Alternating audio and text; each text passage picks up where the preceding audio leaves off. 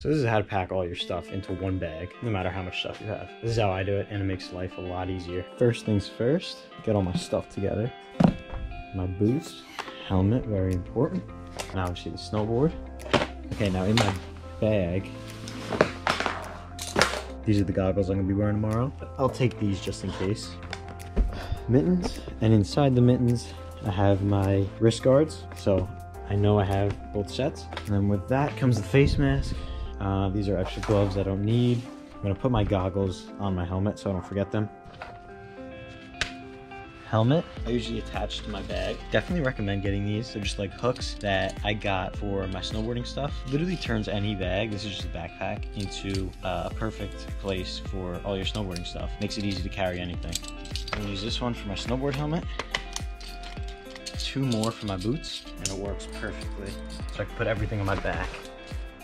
Now inside the bag, you're gonna have my snow pants, extra pair of goggles, my GoPro, just in case I wanna use it. And new to this year, my butt pads. Gonna give these a try. So my gloves and wrist guards, I usually put in the front pocket along with my face mask. Okay, now I need my filming equipment.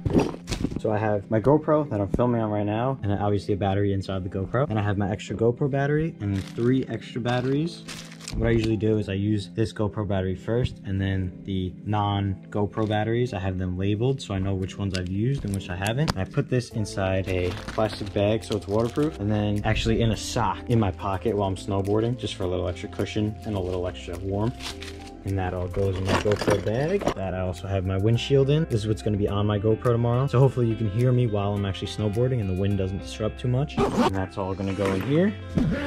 Bag's looking good. Now something I love to do before I go snowboarding is use the old reliable speed wax. I use this every time before I snowboard. Definitely recommend it. I made a review on this. I'll tag that video, but uh, this stuff actually works. It's very impressive. First, I'm gonna clean the board off a little, get all the dirt off because it's gonna be warm tomorrow too, so I definitely need this. Snow's gonna be soft and slow.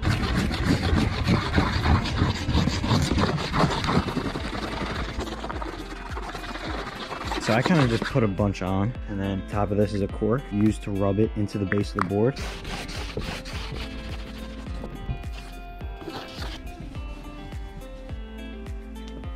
Okay, now that is all my snowboard gear snowboards are ready to go. Boot, helmet, everything else is ready to go. And everything fits in one bag perfectly. And this is a great way to do it. Now I'm gonna go upstairs and get my stuff ready upstairs that I need for snowboarding, like my clothes and stuff. Okay, now it's gonna be warm tomorrow. I'm thinking it's gonna be a flannel day. What's it? I'm gonna bring my windbreaker, some pants for under my snow pants, a hat, and I'm gonna wear a sweatshirt. The wardrobe is iffy because it's gonna be 60 degrees tomorrow, but definitely wearing a sweatshirt or bringing a sweatshirt just a breathable shirt underneath. Okay, I pretty much have all my stuff ready. Got my wallet, phone, AirPods, all my GoPro stuff downstairs.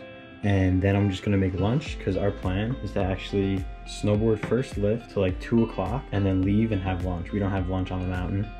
Uh, just get all our runs in through, in that time because it's actually New Year's Eve tomorrow, so we gotta get home quick. Get all our runs in in that time, eat in the parking lot, and then go home. Need my pass. So now I got my pass. And that's it. That is pretty much what I do to get ready for snowboarding. This is what I did the day before. I hope you guys enjoyed. Make sure to like, comment, and subscribe. And I'll see you in the next video.